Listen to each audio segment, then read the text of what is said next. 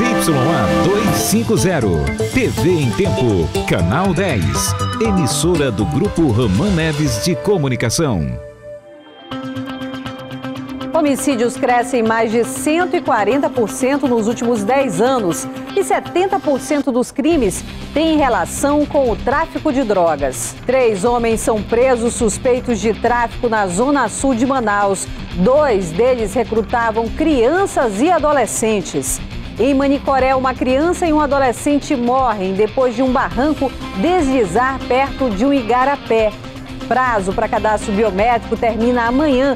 Quem não fizer a biometria ficará sem votar na eleição tampão em agosto. E tomate deixa a cesta básica de maio mais cara. Aumento chega a 14%. O Jornal em Tempo desta terça-feira já está no ar.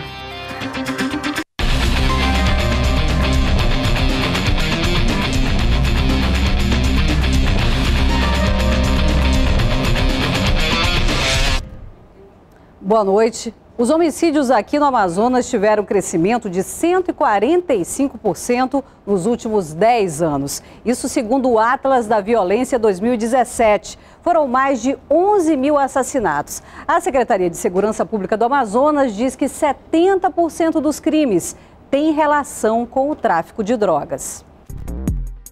Violência. Técnica de enfermagem é sequestrada de dentro de casa e morta estrangulada com fio de telefone. Nesse fim de semana, no Nova Esperança, zona oeste aqui da capital, duas pessoas morreram e outras seis ficaram feridas. Foi durante um tiroteio. Na manhã de ontem, o corpo da doméstica Jaine Michele Santos foi encontrado decapitado no quilômetro 80 da rodovia M010. No último sábado, a polícia também localizou na mesma rodovia dois corpos sem cabeça. Um deles era do irmão de Michele, Isaac Santos, conhecido como Trembala, que era procurado pela polícia suspeito de participar da morte do soldado da Polícia Militar Paulo Portilho no início deste mês. O PM foi encontrado enterrado nesta invasão no Nova Cidade, que foi incendiada logo em seguida.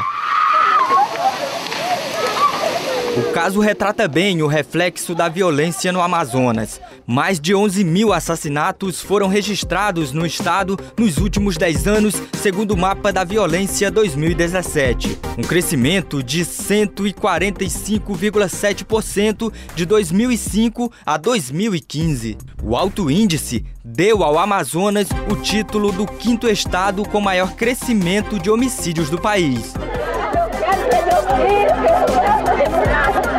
A Secretaria de Segurança Pública do Amazonas comentou os dados. Segundo o órgão, a maioria dos homicídios ocorridos aqui no estado, sendo a maior parte aqui na capital, tem ligação com o tráfico Eu de diria drogas. o seguinte, no nosso estado, ela é 70% ou mais decorrente do narcotráfico. Você pode ver que qualquer execução dessa, ah, os envolvidos são ex-presidiários, têm envolvimento com, com o, o tráfico de substâncias entorpecentes.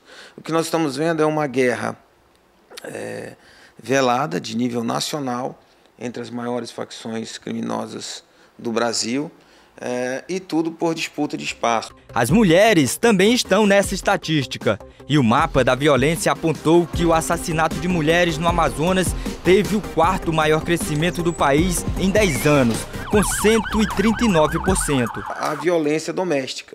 Esse é um primeiro ponto. O segundo ponto é o quanto as mulheres também têm se envolvido em atividades criminosas.